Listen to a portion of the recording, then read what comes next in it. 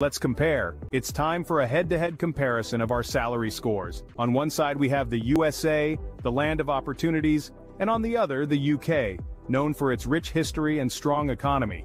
Both countries are prominent players on the global stage, but how do they stack up when it comes to salaries?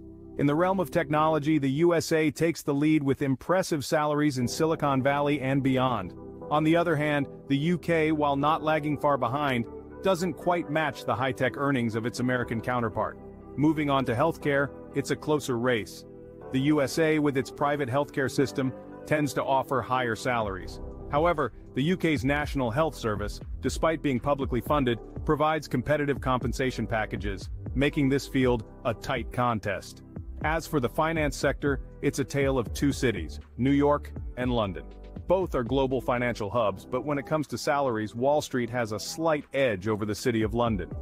But it's not all about the numbers, is it?